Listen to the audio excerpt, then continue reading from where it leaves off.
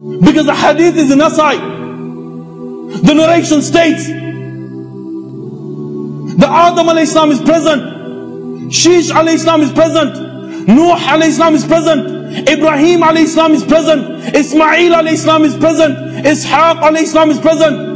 Yaqub alayhi is present. Musa alayhi is present. Yusha alayhi is present. Ilyas alayhi is present. Yunus alayhi is present. Ayub alayhi is present.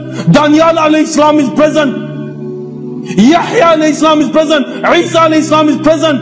The muazzin gives the adhan. Who is to be made the imam? The Messenger وسلم, received this honor and he's made the Imam of all the prophets. He's the Imam of all the prophets. This is the Messenger وسلم, that the whole world should be following. This is the Messenger وسلم, that the Muslim of the 21st century should be taking as a role model.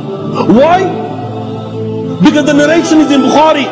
The narration states the Messenger وسلم, is present and the kuffar of Makkah, the mushrikeen of Makkah, they wanted to see a miracle. They wanted to witness a miracle. So they gathered together and they stop at a place waiting for the Messenger وسلم, to do a miracle. The Messenger وسلم, points towards the moon, indicating with his finger. He makes the moon into 12. He takes one side of the moon on one side of the mountain, the other side of the moon on the other side of the mountain. My brothers, this is the Messenger وسلم, that the whole world should be following. This is the Messenger وسلم, Muslim of the 21st century should be taking as a role model. Why? Yet again the hadith is in Bukhari. The Messenger sallallahu alayhi wasallam stops at a place and the companion of Muhammad sallallahu alayhi wasallam comes to him and says to him that we have no water. It's time for salah. The Messenger sallallahu alayhi wasallam says, present me with a bowl. A bowl is presented to the Messenger of Allah sallallahu alayhi wasallam and the Messenger of Allah sallallahu alayhi wasallam he places his hands in the bowl and water begins to flow from his fingers and 300 companions 300 companions 300 companions do wudu with that water